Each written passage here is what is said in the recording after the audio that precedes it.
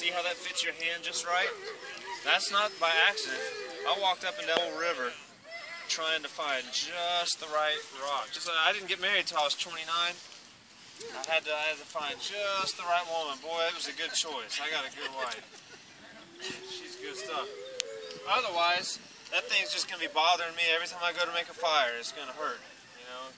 Some people, their marriage is like that. And thankfully, mine's not. Amen. So, uh, alrighty. So, got my baseboard, got my rock. I just have this here because I don't want to have a wet knee all day. It's, it's just a, you don't need to have a postal notice. Sometimes I use a leaf for that, but we're hopefully we're gonna make a coal, and we don't want it to go down on that wet ground there. Now our spindle, you got one side that needs to be lubricated, and one side that you want to have friction. So the lubricated side is nice when you're a teenager, because teenagers have lots of facial grease, like nose grease and stuff. Kind of like rub some of got a seven-year-old that has a lot of earwax. Y'all ever get earwax?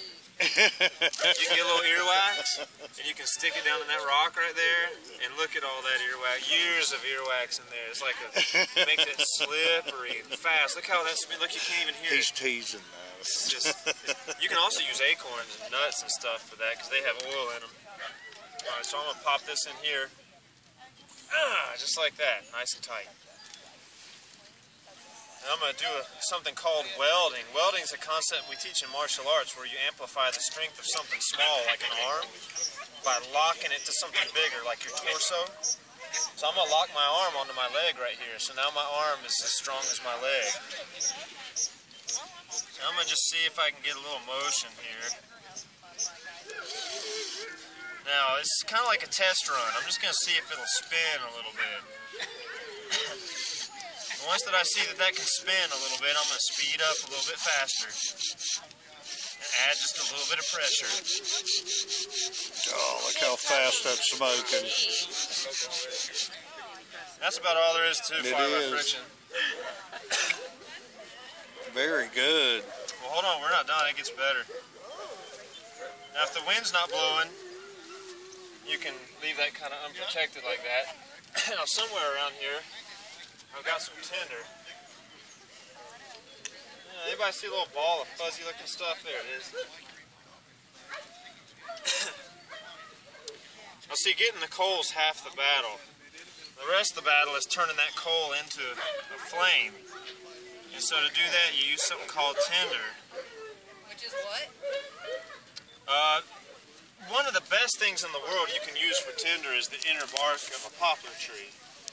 Uh, but this is jute fiber because I got this giant thousand foot spool of jute, and the poplar bark, you know, is a little bit harder to come up with when you don't have a poplar tree next to you. But but you can use all sorts, any kind of fine fiber. It kind of looks like the outside of a coconut. You could probably use that. That's really smart. You're, what are you like, some kind of kid genius? No, I just the Bahamas? That's cool. So next time you go to the Bahamas, get you a magnifying glass or get a little spark and see see how coconut hair works. Try that out. This guy right here is a master at surviving on coconuts and stuff. He's one of my teachers. He speared all those fish there with a thing he made out of a tire. It's the craziest thing ever. anyway, I hear, I'm gonna blow on this a little bit. I see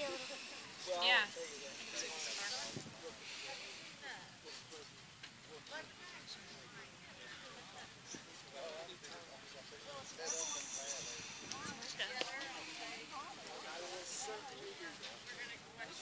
little bit. Yeah. I love it. And there it is. Uh, yeah. I'm gonna put that out just so I can save it.